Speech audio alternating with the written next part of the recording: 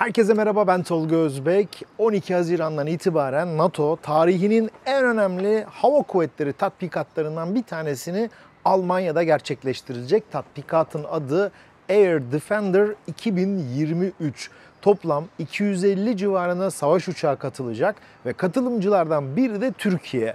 Dün Milli Savunma Bakanlığı bir açıklama yaptı. Merzifon'da 5. Anajet Üst Komutanlığı'nda konuştu. 151. filodan 3 F-16 uçağı görev yapmak üzere Almanya'ya intikal etti. Şimdi bu tatbikat neden yapılıyor? Bu soru çok önemli.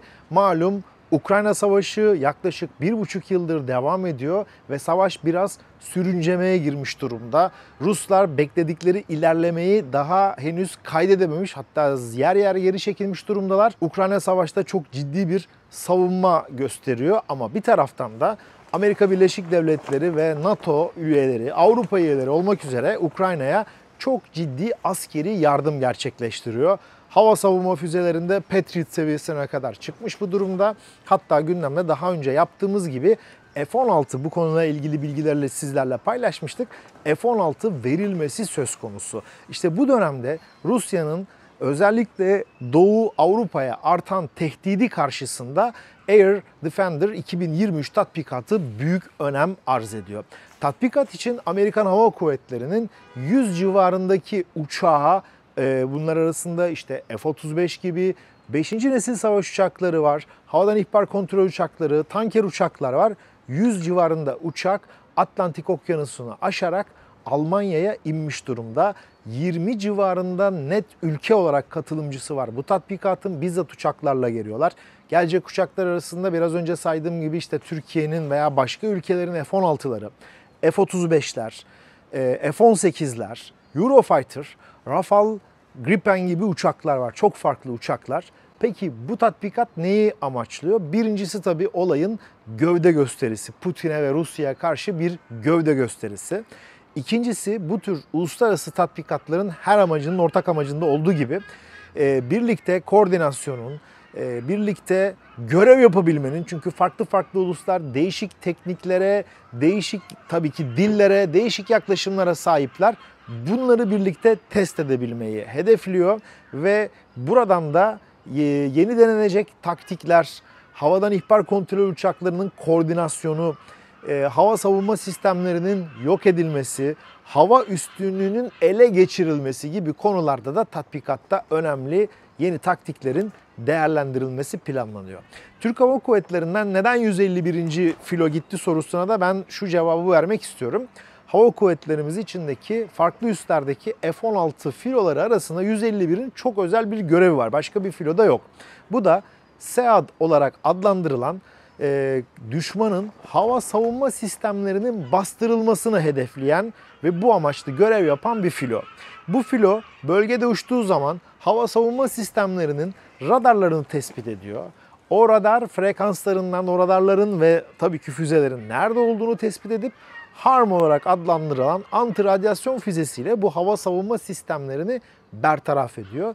3 uçak gitti Almanya'ya ve bu konudaki NATO'nun çok önemli bir yaklaşımını sergileyecek.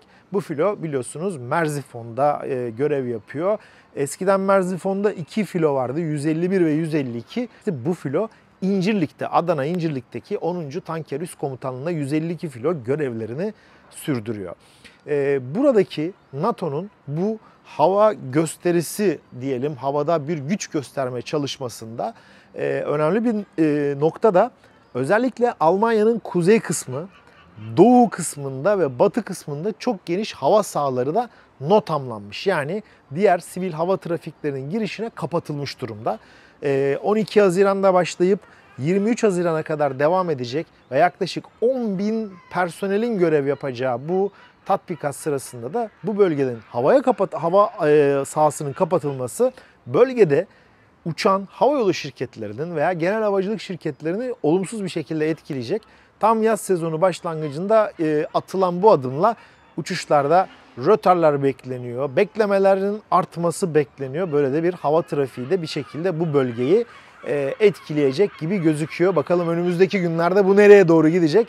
Biz de merakla bekleyeceğiz ve detayları sizlere aktarmayı sürdüreceğiz. Tatbikatla ilgili eklemem gereken katılımcılar arasında önemli bilgi de henüz NATO üyeliği kesinleşmemiş ki Türkiye'nin bu konuyla ilgili bir vetosu var. İsveç bu tatbikata katılıyor.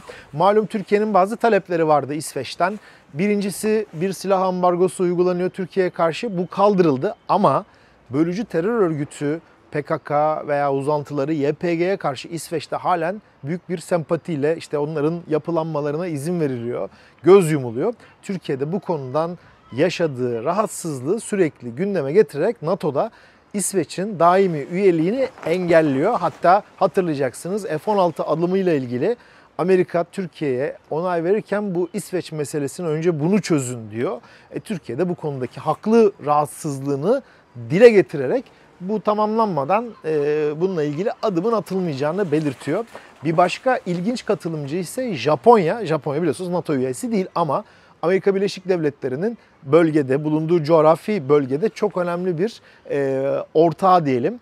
Malum o bölgede Güney Kore ve Japonya biraz daha aşağıya doğru indiğiniz zaman Singapur yoğun olarak ve tabii ki Avustralya yoğun olarak Amerika tarafından destekleniyor.